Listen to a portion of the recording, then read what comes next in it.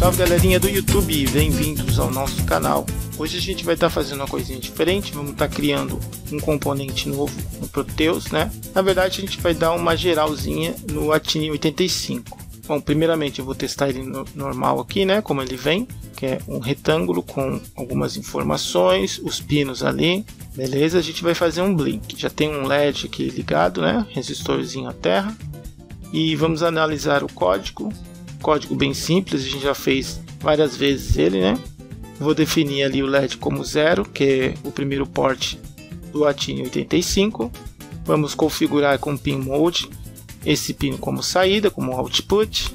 Aqui embaixo a gente vai fazer o nosso blink, né? Acende o LED, espera, apaga o LED. Acende o LED, espera, apaga o LED. Belezinha? Aqui nosso pisca-pisca.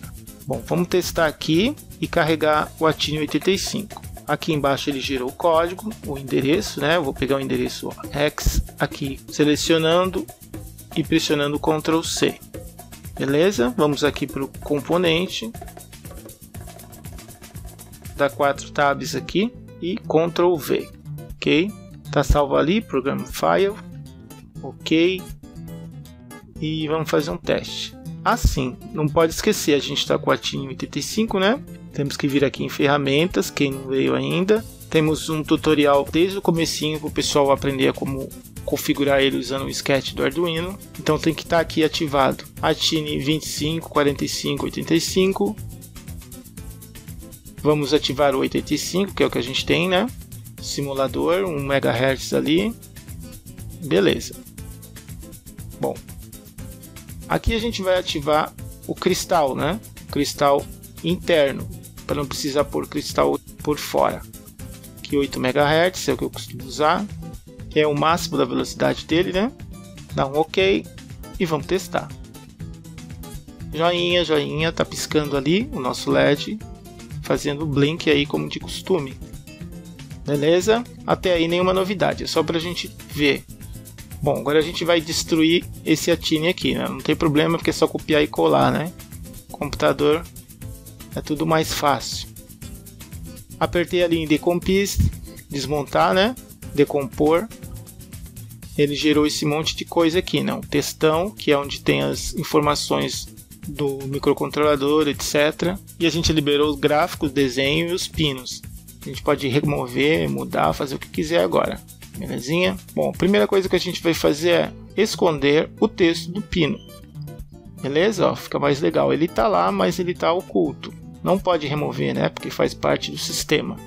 Todos como oculto. Joia, joia. Bacana. Bom. Agora a gente vai vir aqui no Google. Eu vou mostrar como é um Atine que a gente está montando. Vou pegar uma imagem qualquer aqui. Aqui para vender, né? Bom, vamos usar isso aqui como exemplo. Beleza, tem regulador, tem tudo ali.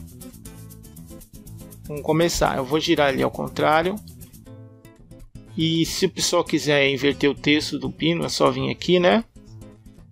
Mirror Y. Ele vai espelhar ao contrário pelo Y. Vou aumentar o tamanho dele aqui, esconder esse texto. Deixa eu aumentar mais. Aqui é o pininho, a gente não pode remover esses pinos, né? eles são ocultos, mas eles fazem parte do sistema. Deixa eu trazer o outro aqui para baixo, é o positivo e o negativo, né? VCC e GND. Beleza? Bom, primeiro a gente vai fazer os pinos. Aqui eu vou escolher a ferramenta círculo, só que ela tem um limite, né? O mínimo dela é esse grandão aqui. E eu preciso que seja menor. A gente pode fazer o seguinte, a gente seleciona ele, vamos aqui nas propriedades, tem o radians, que é o tamanho do círculo, né? circunferência aí, ele está como 1. Eu posso diminuir mais ainda, só colocando mais um zero. Vou colocar 0,4. Ok? E tá aí, nosso círculo ficou pequeno.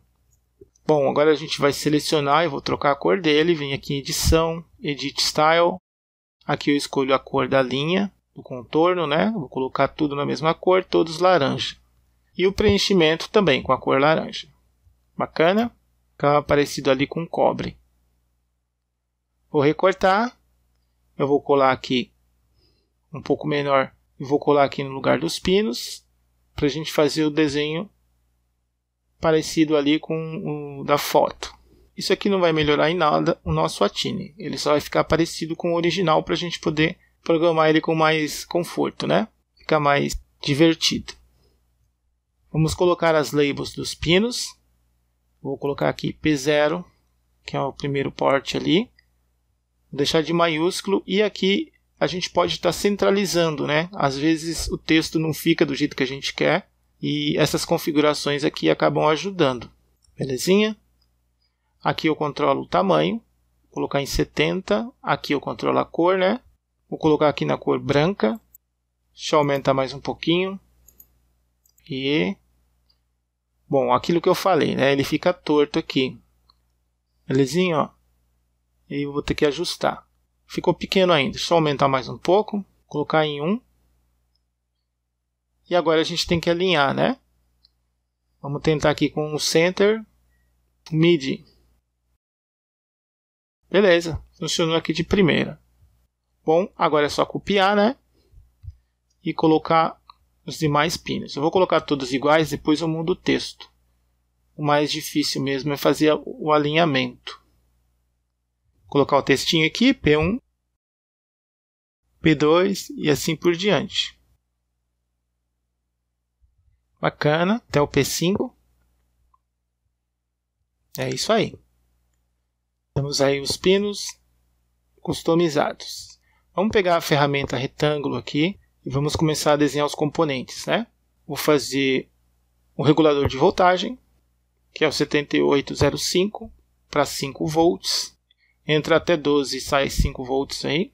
Vou criar uma label, né, o texto, colocar um tamanho de 1, colocar a cor. Se eu girar aqui e joinha. Deu certinho para o nosso regulador. Só que o regulador é preto, né?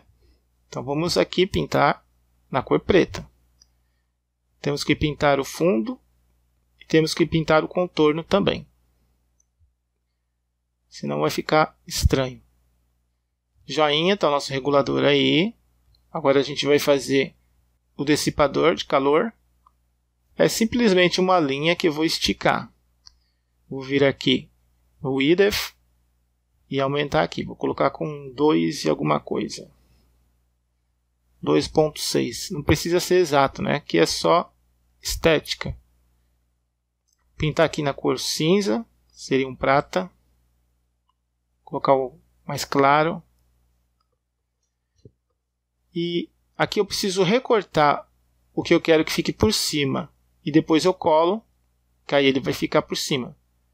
Beleza? Assim que a gente troca a ordem, né? O alinhamento. Vamos criar os pinos. Bom, aqui não tem segredo, né? Só deixar o pino do tamanho que a pessoa quiser, deixar a cor. Aqui é tranquilo. É o mesmo procedimento. Belezinha? Bom, agora eu vou colar o que eu já fiz. Para a gente ganhar tempo. Colocar aquele na posição parecida com a foto. Dá para ver que no, o dissipador e os pinos ficaram ruins de ver, né? Porque a gente ainda vai pintar a nossa placa. Eu vou pintar na cor parecida com a original ali, né? O estilo da Asus. Primeiro eu vou colocar a linha com cinza escuro. E vou pintar o corpo com um preto ali quase cinza. Eu vou escolher o cinza como cor aproximada. A gente vem aqui em outras cores. E aqui é só controlar. Ó. Não pode ficar preto, senão vai cobrir o nosso componente. Ok? Vou aumentar mais o tamanho aqui da nossa placa. Colocar o dissipador ali mais para baixo para poder caber o ITIN 85, que é o microcontrolador. Belezinha? Ó, eu fiz do mesmo jeito. É um quadrado preto e quatro linhas como os pinos. Belezinha? Vamos colar os capacitores aqui, os componentes fakes, né? Tentar fazer o mais parecido possível. Vou colocar uns furinhos aqui. Joia, joia. Vou fazer mais os pinos. Tem mais três pinos aqui. Colocar eles no lugar positivo, negativo e um outro pino que nem vai ter, né? Aqui é só enfeite. para poder alinhar aqui é chato. Eu vou ter que vir nas coordenadas y e mudar os valores ali. Belezinha? Ó. Agora ficou bom. Se eu copiar, o próximo já vai estar tá na mesma linha, não preciso ficar corrigindo. A carinha, tá os três aí. Esse daqui é o GND e esse aqui é o positivo. Beleza? É um auxiliar de 5 volts, né? Mas ele não vai estar tá presente não, é só enfeite. Deixa colocar os textos, as labels, né, que chama, vem e o GND. Bacana. É, a placa é menor, né? Deixa eu diminuir aqui. Beleza. Esse é o modelo que vai USB, só que a USB não vai funcionar, é só para enfeite. Faço um retângulozinho aqui para fazer o um pedaço da USB. Utilizo as linhas na cor laranja, né, para fazer os pinos. Deixa eu remover aqui e colar o que já está pronto aqui, para a gente ganhar tempo. É isso aí, essa é a aparência dele. Bacana. Deixa eu colar mais alguns componentes fakes aqui.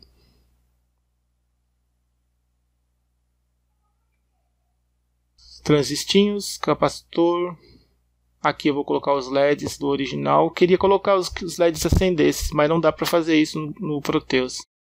Eu acho, né? Pelo menos eu pesquisei aqui e não achei nada. Belezinha? Bom, agora que está tudo pronto, eu tenho que juntar tudo. Tem que juntar o texto também. Esse texto é bem grandão, né? Tem que dar um zoom enorme. Selecionei tudo. Ok. Conferi ali. A gente vem em Make Device. Vamos criar um componente eu tenho que colocar um underline aqui para não gravar por cima do original, né? Senão dá problema. Belezinha? Atine 85. Só avançar, avançar. Aqui eu vou colocar para separar jogos e programação. O, a subcategoria vou colocar Arduino. Aqui é Timel. Beleza. Aqui não tem muita importância. Vamos salvar. É criar sim. Está criado. Agora é só deletar, né? Eu posso apagar e pegar o componente pronto. Tá aí o nosso Atine underline 85. Beleza? Fica mais bonitinho para simular, né? Então vamos colocar aqui um LED para a gente fazer o pisca novamente. Eu acabei apagando. Um resistorzinho. E ligar o LED no terra. Vamos gravar o código. Oh, que beleza, o código já está aí. Tá tudo configurado, né? É o mesmo microcontrolador. Então vamos testar. Ixi, tá tudo invertido. Ah, é verdade. O 1 é o 5 e o 5 é 1. É tudo ao contrário. Como fazer agora? É bem simples, né? Já mostrei no outro tutorial. Que é só a gente dar um decompise aqui. Vou virar ele para cima. Vamos desmontar tudo a cana e arruma os pinos. Um vai para baixo, o cinco vai para cima, três para baixo, seis para cima, só inverter, né?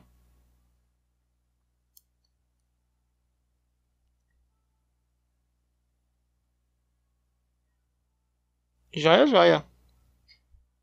Beleza, vamos selecionar tudo novamente. Viu que o texto ficou menor, né? Que a gente fez essas alterações lá. Vamos criar o componente de novo, só salvar por cima. Dar um OK e deletar. Tá aí o nosso componente com os pinos corrigidos. Vamos testar agora. Joia, joia, funcionando aí o nosso Blink com o nosso componente Atine85 simulado. Belezinha? A gente observa que o reset Tá ativado, né? Tá vermelhinho ali. Então a gente não pode usar esse pino, só para reset. Vamos aqui configurar para ver se ele funciona. Vamos desativar o reset e passar o pino para programado. Ok? Agora eu posso programar nele também. Todos são pinos úteis. Joia, joia. Funcionando direitinho aí o nosso sistema.